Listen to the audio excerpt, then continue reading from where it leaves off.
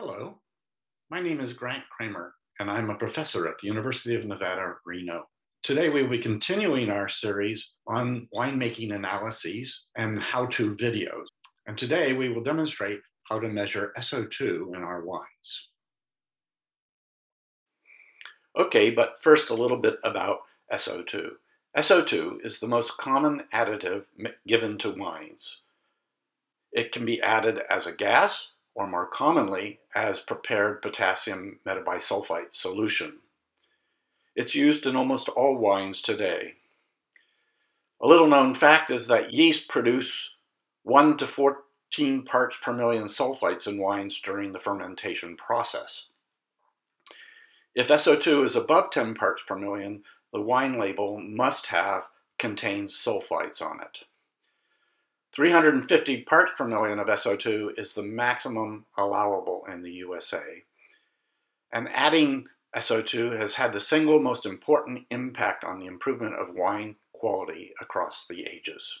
Sulfur provides protection against oxidation and bacterial spoilage, but can cause off odors and flavors if used in excess. So we want to know exactly what the quantities are that we have in our wine. Free SO2 is the measure of unbound SO2, which can contribute to protection against oxidation and spoilage of our wines. Total SO2 is a measure of all sulfur forms present in the sample. Bound SO2 does not contribute to the protection of our wine.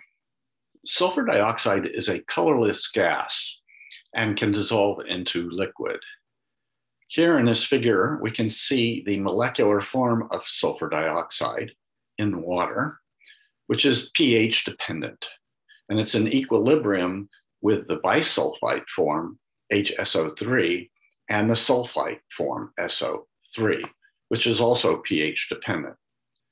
So in a wine with a pH between three and four, we primarily have the bisulfite form here in black. And the molecular form has a very low solubility in this liquid form. But this is actually the form that is antimicrobial and important for our antioxidant activities. The bisulfite form and sulfite forms are inactive microbially and oxidatively. The bisulfite form reacts and binds to other wine components, making up the bound form of the total SO2. So it is the molecular form that is the important active form of SO2. And in this table on the right hand side, you can see how the molecular form changes as a percentage of the pH of the wine. Basically, as the pH rises, the percent molecular SO2 declines. In the right-hand side of the table, you can see the free SO2 concentration necessary to get the 0.8 parts per million of molecular SO2 desired to control microbial and oxidative properties of the wine. So the main point of this table is that as the pH of the wine increases, one has to increase the free SO2 concentration in the wine in order to have its effective properties of antioxidant, antimicrobial activities. So these antioxidant properties protect our wine against oxidation, oxidation of the color, oxidation of the aroma compounds, particularly the subtle fruit aromas that we're interested in. But sulfite can also be bound to other metabolites in the wine, making it less effective. So again, we have the molecular, the sulfite, the bisulfite, and we have unstable compounds where, which are part of the bound SO2, which includes sugars, uronic acids, ketonic acids. And then we have stable compounds, particularly that of sulfites that have bound to acetaldehyde. In the gaseous form, SO2 is dangerous and can be toxic to humans. One must be cautious not to breathe it in. In small amounts in wines, it is not problematic, although there is a very rare person who is allergic to its byproduct, sulfite. SO2 or sulfites do not cause headaches as commonly believed. Today we'll talk about the Ripper titration method, It's based on a method developed by Ripper in 1898. It uses iodine to react with the free SO2. When all the SO2 is used up, the free iodine appears as a dark blue starch iodine complex as the endpoint. It's a quick method, but somewhat inaccurate and subject to error. But as I have experienced in the past, some of the other methods are not very accurate as well. And so this is relatively reliable and used in wineries all over the world. Some of the other methods that could be used are SO2 strips, but they're highly inaccurate and crude. And there are titration meters, such as the Hanna SO2 titration meter. However, this machine has broken down several times for me within a year or two after use. So I am a little bit dissatisfied with this method and it's about a seven or eight hundred dollar piece of equipment.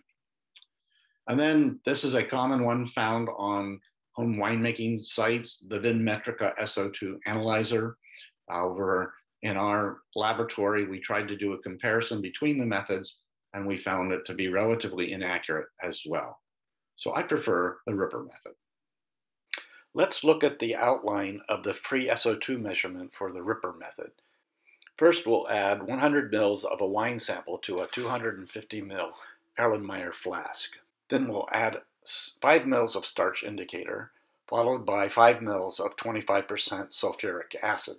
We want to rapidly titrate that with 0.02 normal iodine to get an endpoint with a blue color. That blue color should show for about 30 seconds.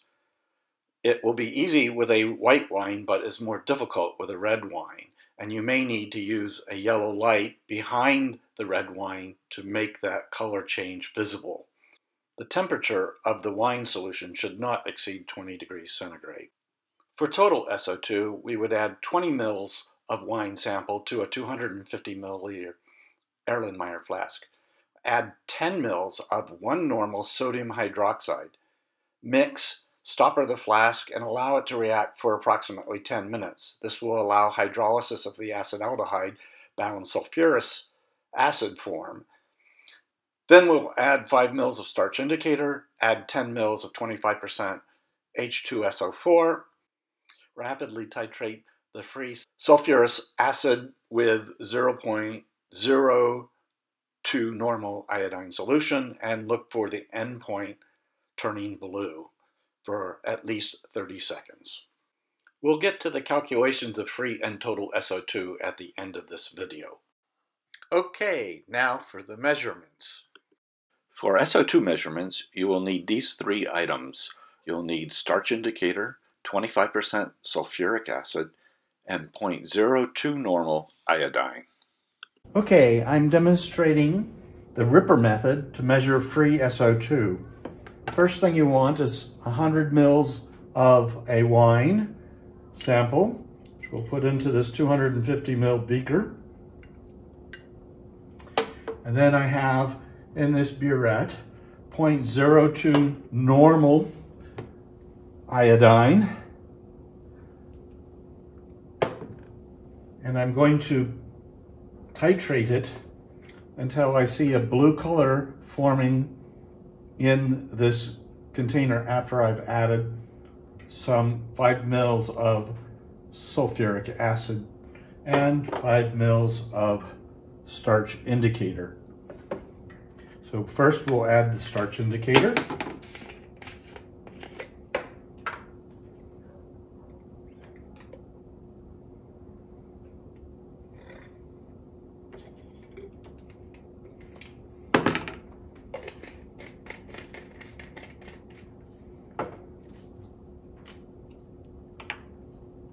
Then we're going to add the sulfuric acid. And then I want to do my measurements immediately, not wait, because the SO2 that is being generated as a gas will start blowing off. So I want to get this going as soon as possible. I'm going to mix it in. I'm going to start dripping the iodide drop by drop, and it's already turning blue. If you can see that, but it disappeared. So I have to do this till it turns blue for 30 seconds or longer. So again, it's turning blue, which is kind of an indication that there's not a lot of SO2 here in this sample, but it's disappearing. So I'm gonna keep adding a little bit more. I keep stirring it and it's disappeared again. So I keep doing this until I see a persistent blue for 30 seconds.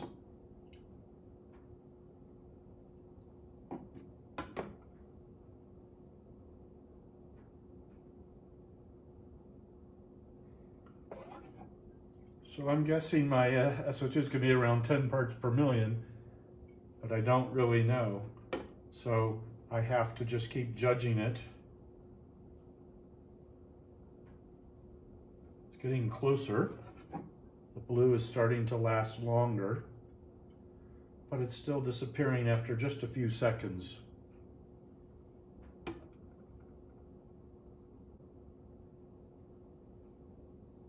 Speed this up a little.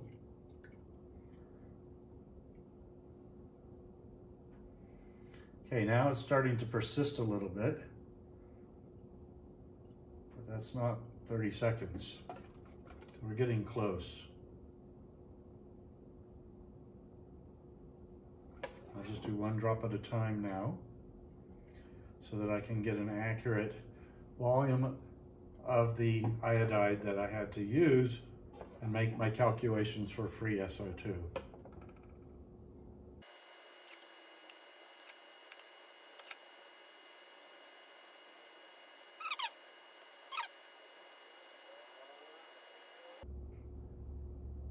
Yes, I still have some bluish color in this wine. So there we have it. We reached our volume and we used two mils of iodide. So we'll make the calculation on two mils of 0.02 normal iodide and see how many parts per million of free SO2 we have in our wine sample. Here's the formula for calculating out the free SO2 and the total SO2 and the bound SO2. The bound SO2 is simply the total SO2 minus the free SO2. To calculate out for either of the total or free SO2 measurements, we use this formula that has a volume of the titrant used, the concentration of the titrant of the iodine, or the normality of the sodium hydroxide. We factor in the molecular mass of SO2, which is 64.066 grams per mole. We use the equivalence factor of 1 mole of SO2 for every 2 moles of sodium hydroxide, or 1 mole of SO2 for 2 moles of iodine, and then we calculate out the volume of the sample analyzed. So we have 2 mils of titrant times 0.02 normal iodine times 64.066 times 0.5 times 1000 equals 12.8 parts per million SO2. Well, that's it. I hope you enjoyed it.